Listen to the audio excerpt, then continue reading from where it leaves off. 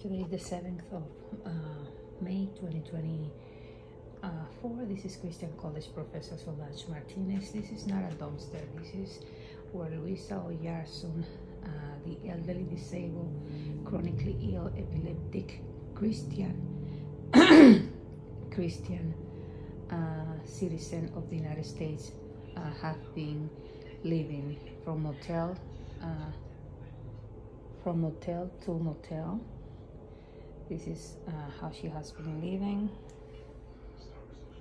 And uh, why? Because a deep state mafia member wanted her apartment in uh, the government subsidized building where she used to live at 44 Center Street, Waterbury, Connecticut. All 06702 and since he uh, wanted her apartment and uh, uh, he has a relationship with one of the building's workers uh, paid by the government.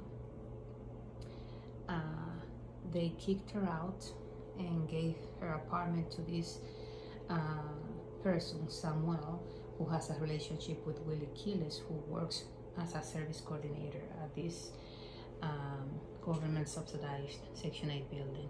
After she had uh, for recertification, for Section 8 recertification, which is uh, the Section 8 within the building, not a voucher.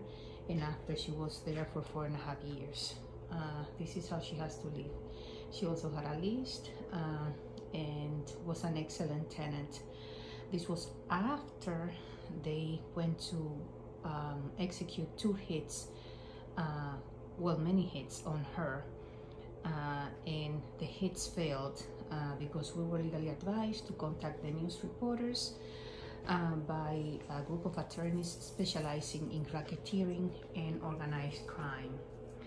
Uh, this group of attorneys legally advised us to contact the news reporters uh, and to only file the lawsuits, the federal lawsuits against these government employees and the federal government in the United States, but not to expect to go to trial because what the government is doing, they are hiring these atheist Christian haters uh, to force the Christians in the United States to um, join the organized crime and deny Christ or execute them, exterminate them, uh, kill them.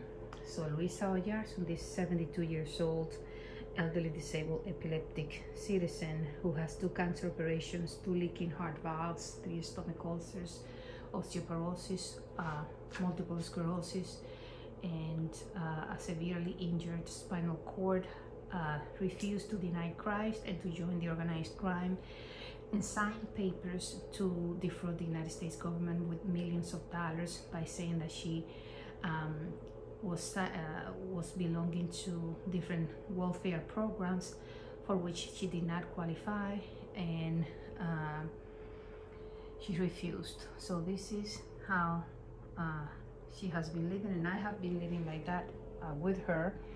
They left her without uh, three months of her epilepsy medication to see if she died that way from uh, convulsing to death. She didn't die by the grace of God, the one that they said do not exist. Uh, but I can assure you he does exist because she's alive because of his grace, infinite grace and mercy after uh, that failed, then they created a sham. A sham is a, a fraudulent court case that um, a, a, judge uh, and a lawyer, or a couple of lawyers, in this case, they got three lawyers for this 72 years old Christian to uh, kick her out of the apartment, to home invade her apartment on March 18th, 2024 uh, a masquerade, the home invasion, the burglary of her apartment, the ransacking her apartment, and the stealing of whatever was left from the, the other two home invasions. Uh, they masqueraded that with an illegal eviction uh, and they continue uh, processing, doing falsified paperwork, saying that she's going to court uh, and admitting that she didn't have a lease. She was there uh, in her apartment living uh, day by day and she did not have section 8 so what they do many times is they get one of their impersonators, the welfare or the organized crime members, uh, to impersonate the victims, go to court and say, "Yes, I'm guilty. Um, I'm crazy. Uh, I, uh, I am a drug addict, uh, an alcoholic, etc." Uh, but they never show the face of the victim because that that's another person, not the victim. They did that with me, uh, and they have me as a person who is seriously chronically ill unable to speak for more than one minute unable to write or read and unable to to do anything for myself according to the, their paperwork um, they have to uh, they had to uh, have to hire a person to bathe me and do everything for me for uh, a salary of uh, $95,000 per year to $200,000 or so per year. So they could do everything for me. And uh, they have another uh, team of workers for Luisa Oyarzo, supposedly getting uh, millions of dollars every year uh, for this team created to give everything that she needs to her. and she has been living in these motels for the last uh, two and a half, uh, I mean, one and a half months, almost, almost two months. So um, she has, uh, this is the third motel that she lives in because they, in addition to everything, um, the persecution consists of sending people to the motels to harass her, antagonize her, uh, and ask her for money, try to force her to give them money. I don't know from where, because they tell uh, people to prostitute themselves, the citizens, the civilians, to prostitute them, prostitute themselves or sell drugs. Uh, she doesn't qualify for either one because she's 72 years old and she's uh, she is too ill to sell drugs, to stand on the streets uh, and sell drugs. So um, I, at this point, I don't know what they want. Uh, well, I know what they want. They want to uh, kill her so they can continue to sell her identities yes. and government benefits. They also wanted to. They also want to kill me because they haven't paid me my works pay uh, for three and a half years, which is two thousand dollars per week uh, because I do the three shifts taking care of this elderly disabled person uh, from 8 in the morning until 4 uh, p.m., from 4 p.m. until 12 um, at night, and from uh, 12 at night until 8 o'clock in the morning. So I am the one that has to, when they home invade her, eh, home invade her, I have to um, move her, the, what is left of, of the furniture that uh, they destroyed. Uh, I have to uh, run the errands. I had to um, rent the 20, 26 footers, 26 footer truck uh, and drive it. Uh, I have to unload it and unload it. Um, if I have to rent two trucks because they don't have a 26 footer, I rent a 20 footer uh, and have to drive it back and forth. So this is the situation of elderly disabled Christians in the United States who refuse to join the organized crime and denied Christ.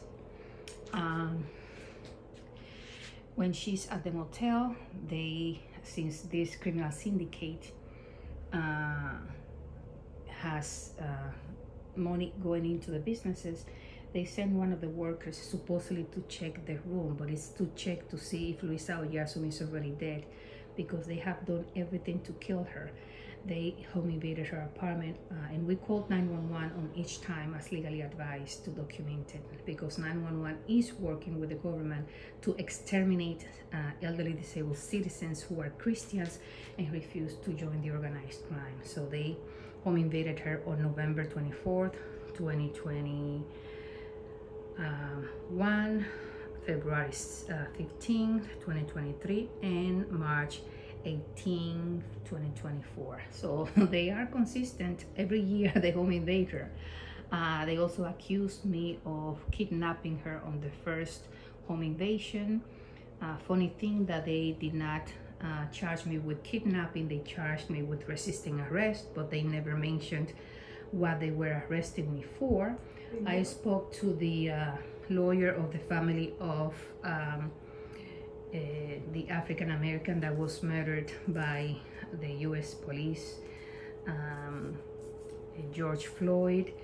Um, and uh, when I called his law firm, uh, I was told that these people who are doing this to this elderly disabled Christian and myself were refusing to stop being Christians and refusing to join the organized crime.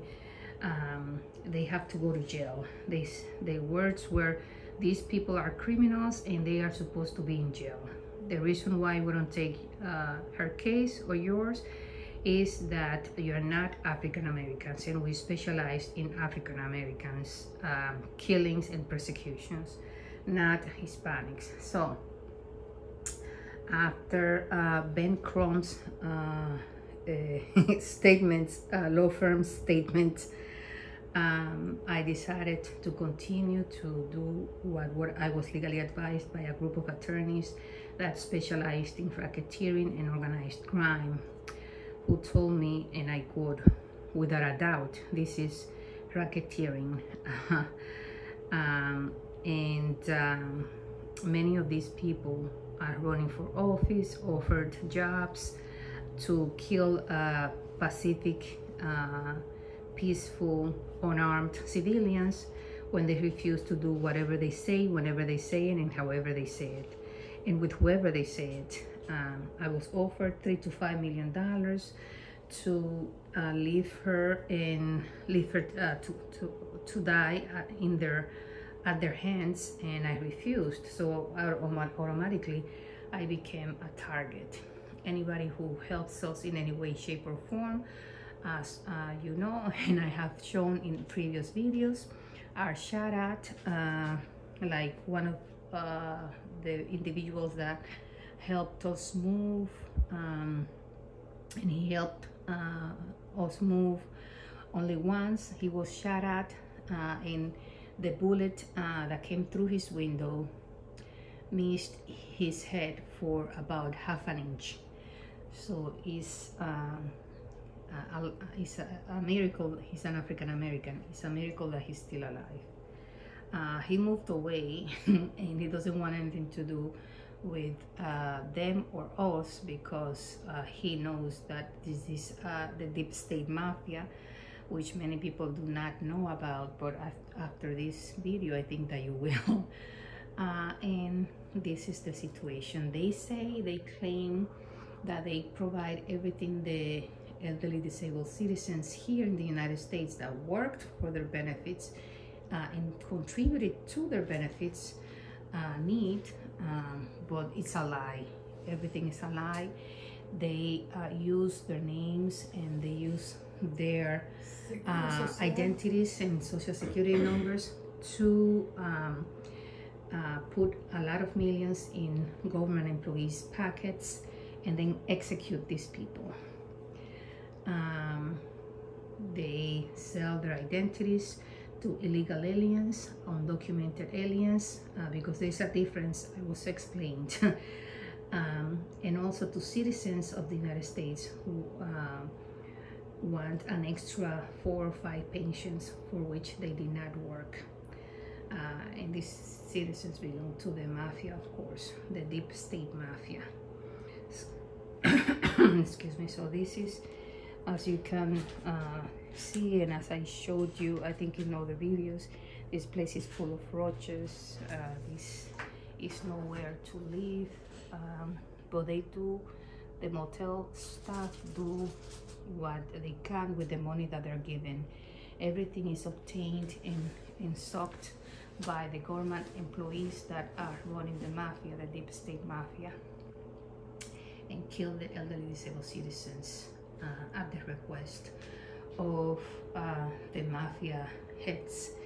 Um, I was also explained that the mafia meets in different places with Masons from the Catholic Church uh, and they decide who lives and who dies in Waterbury, Connecticut. They have different places where the Masons uh, meet with the uh, police chiefs, um, attorney generals and other uh, people that decide who lives and die here uh, in the United States.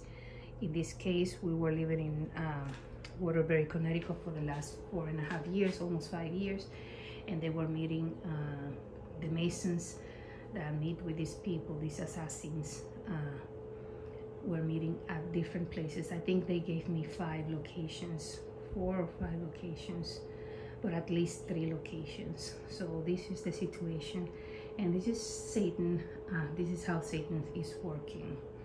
Um, they get upset and go to your house and hit the Ten Commandments that you have posted in your door on your door uh, at least 60 times, which are next to the image of Virgin Mary and our Lord Jesus Christ, uh, and they are uh, la laughing uh, um, compulsively, and then they stop for a few seconds and get very angry, and then they continue to laugh uh, very com compulsively.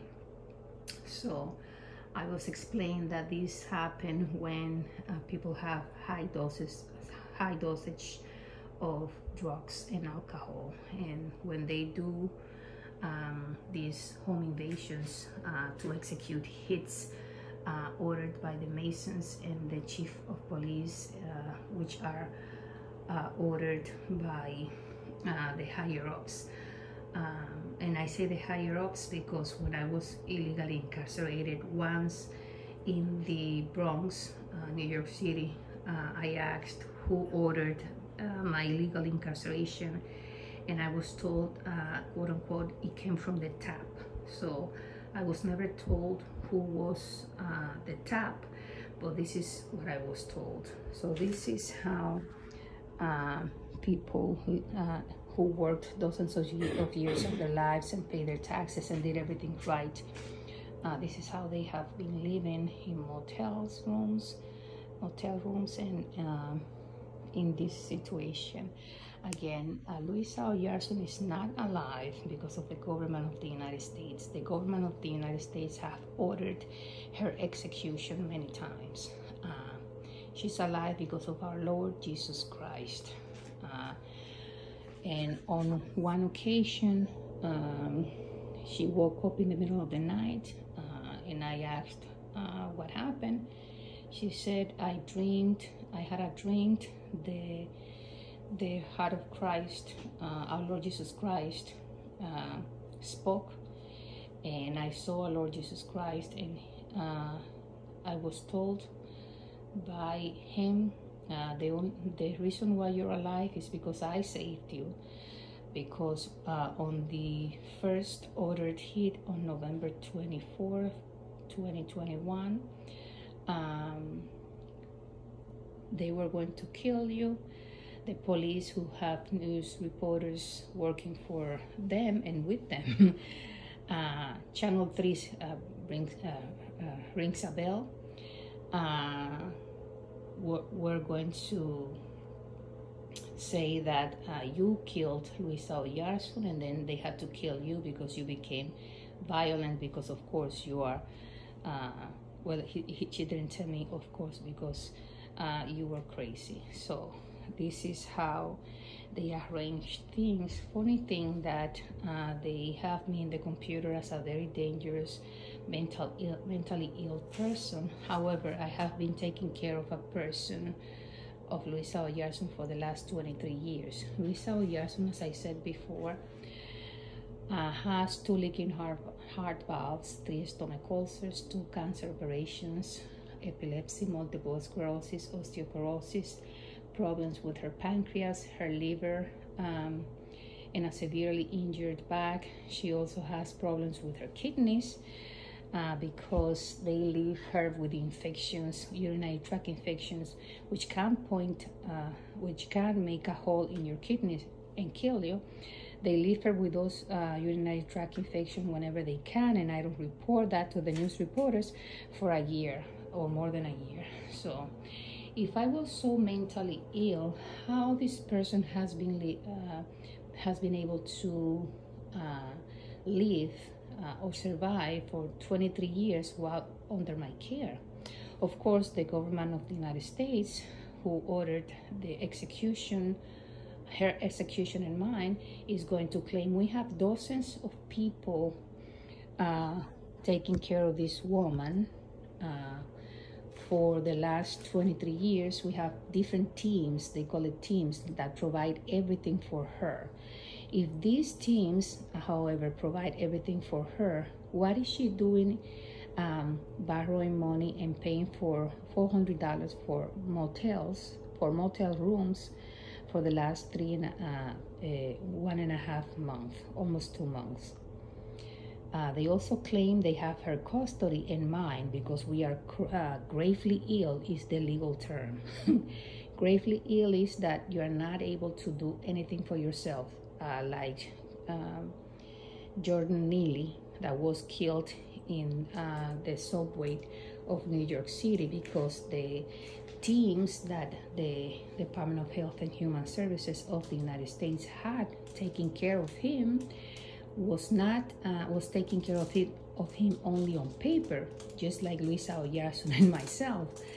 Um, they were packing the money, uh, the social workers, the nurses, the psychiatrists of um, uh, George uh, uh, Jordan Neely, uh, and then that tragedy with Mr. Penny, Daniel Penny, occurred because on paper uh, the government is taking care of everybody, but on paper, the real re- the real thing is going on that that is going on is that the government employees are ripping off the United States government and the taxpayers by faking uh, taking care of people when in reality they are stealing their identities and government benefits like medical insurances in this case med- home care medicaid which is the one that is supposed to pay me which have been paying me for the last three and a half years, but the DSS commissioner has been diverting the payments from my checking account into his checking account and his staff members' checking accounts, bank accounts. so this is the situation, uh, and uh, I just wanted to document uh, what I I am saying and show you uh, as I was legally advised to do. This is how we've been living for the last two and a uh, uh, one and a half months, we went to the different government agencies that were supposed to issue a voucher for her, uh, for her to stop being homeless within 73 hours. They never, well, they issued many vouchers. They also got um, the money from the taxpayers for the first month rent and the, the security deposit of an apartment but we have never gotten the apartment we have never gotten the vouchers for Luis Luisa Oyarson we have never um, obtained any help. It's only on paper so they can take that money from the taxpayers and put it in their pockets. I'm talking about the government employees that the government of the United States have working for the government of the United States. Brothers and sisters in Christ please pray for this country because the people who are doing this with the Masons and other uh, other people do not know that when excuse me a country doesn't do what God's law says honor your father and your mother uh, don't steal uh, don't bear for false witnesses um, the, the fourth commandment the fourth commandment of God the seventh commandment of God the eighth commandment of God and the other commandment of God when the country does, does not when a country doesn't respect God's laws it has biblical courses. Uh, just like Sodom and Gomorrah uh, if we don't fix this uh, nothing good is going to come uh, from our country. Uh, and I know that you guys the, the government employees who are defying God and committing these crimes, this genocide against elderly disabled citizens uh, who have done nothing but to be Christians. I know that you watch my videos because you uh, have said so the first time that you home invaded we saw Oyarson's apartment and I had hidden cameras waiting for you to, to speak and to record when you were burglarizing her apartment. And that's how you got mad because I gave those videos to the news reporters. But anyways, I know that you watch my videos because you yourselves have said that you watch on my social media. You also hacked uh, my accounts, social media accounts, YouTube, Facebook, um, Twitter, uh, and the other social medias, uh, TikTok. Uh, and for, this is for you. Stop violating Christ's laws. Stop violating God's laws, or you will bring biblical courses over the United States. What happened in Oklahoma and the tornadoes and the other things that happen in the United States are not by chance. They don't happen by coincidence. Stop um, violating God's laws. Stop defying God and rejecting His uh, beloved Son, our Lord Jesus Christ, and go back to God. Or you will bring biblical biblical curses uh, to your country. I know you don't care about your country uh, or uh, anybody, but if you don't care about your country, uh, know this. The Bible says that when you defy God and you violate His His um, commandments and His laws, uh, you will bring bring biblical curses to you and your family for five generations. So it will be you and four generations of your family. Check that out, it's in the Bible. Uh, and I don't have time to go into details, but you can check it for yourself. Brothers and sisters in Christ, please uh, go back to God. Uh, we love and forgive you with the love of Christ. And we truly love and forgive you with the love of, our Lord Jesus Christ but we want our government benefits. Uh, I want my payment uh, through the AFL, Adult Family Living Program, which is a welfare program, pro, a public assistance program, because I need it just like the DSS commissioner needs his check.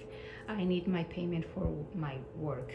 And Luisa Oyarzo needs her uh, home care Medicaid back, her Medicare Advantage plan with United Healthcare back, her food stamps, uh, her $300 uh, per month or so more than $300 and um, her government her the rest of her pension because right now uh, you uh, uh, the government employees who are uh, trying to execute her um, are taking more than half of her pension. She's supposed to get $2,904 and you're only giving her 1000 um, $390 and uh, you're also preventing me from um, going into the Social Security Administration because I recorded your employees committing fraud. So you fabricated a charge uh, and never took me to court uh, or had a trial to find me guilty and found me guilty without due process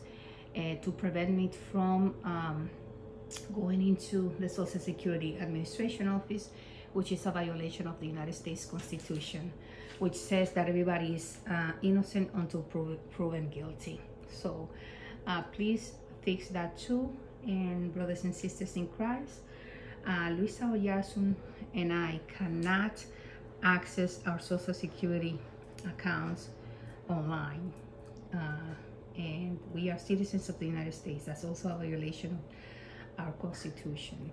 Um, the reason why she cannot access her social security account is because somebody else has her identity. They're giving her SSI and the other person who did not work dozens of years of her life, uh, paid her taxes and did everything right, which is probably an illegal person, is the one that is receiving her, patient. Um, this needs to be fixed. Please do so. Brothers and sisters in Christ, thank you and have a blessing rest of the day. God bless you.